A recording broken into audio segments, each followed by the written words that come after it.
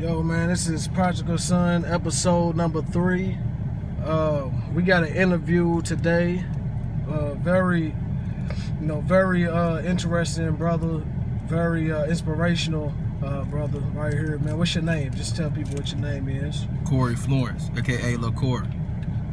I appreciate you, Corey, for uh, you know making some time for me today. Most definitely. Uh, what, what's your background, man? Just tell people what your background is. Man, uh, I'm Louisville, Kentucky, West- End, man. Raised, born in Cotter Homes, man.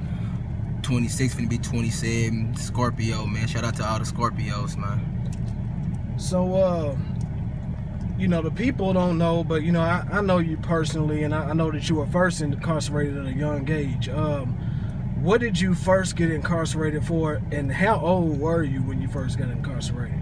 Well, I was 13 first time I got locked up. JCYC for uh, trafficking marijuana. So, what I mean, what, what was it like that first time for the, for you to be that young, for you to be 13 years old? What was it like for you? Well, I was wild, so it really wasn't nothing. I felt like I was going to a jungle to another jungle for real, but it, it really wasn't nothing to boil down to. So, uh, you know, I know, you know, you, so you went to jail for the first time at 13, uh, Right. youth correctional, and you know that wasn't your last time going to jail. You went to jail uh, a couple times afterwards. Now, what was your longest time that you actually spent incarcerated in one stretch? Uh, my longest time was six years. Six years. Uh, so, what what institutions uh, were you in during that that time period? Well, it was six years. I was in uh, penitentiary, and I started off at uh, North Point. Then I went from Eastern to Western to Eddyville. And uh, Eddyville, uh, Eddyville, that's Kentucky State Penitentiary, right? Right. Okay. Okay. Uh, what is the craziest thing that you saw uh, during your time incarcerated? It could have been in any of these, uh, you know, any of these uh, facilities, institutions you were in. But what's the craziest thing you saw?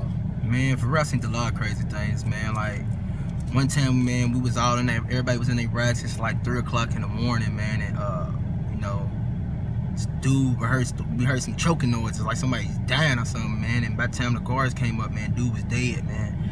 Dude overdosed on some some on something they was giving him.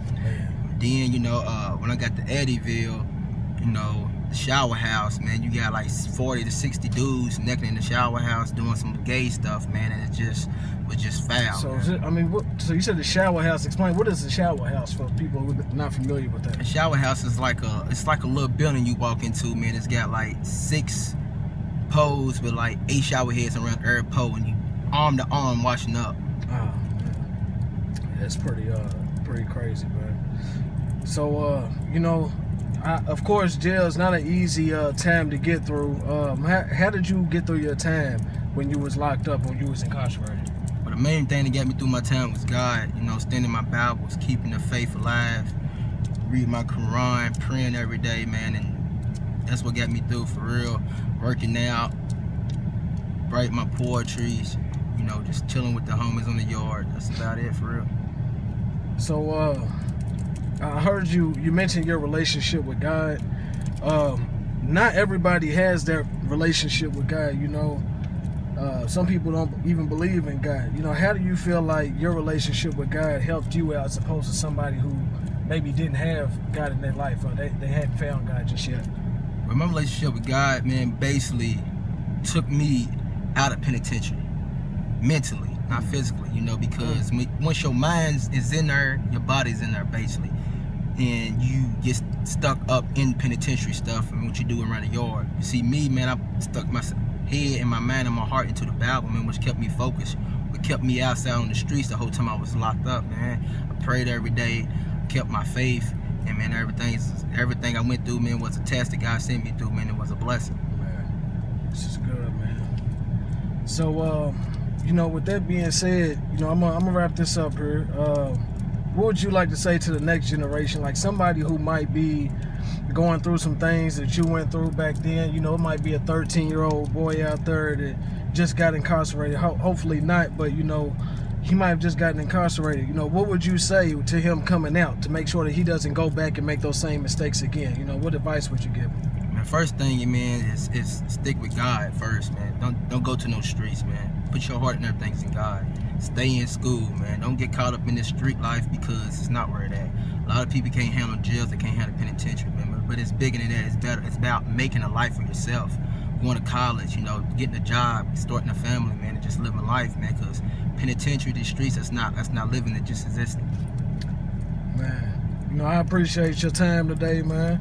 Uh, sitting Yeah. here with me. You know, we definitely gonna have you back again. I feel like you got more of a story to tell. You know, it's more to you. And Right. curious to see, you know, where you, you know, where God takes you, man. Um, shout out to channel one time, the Prodigal Son.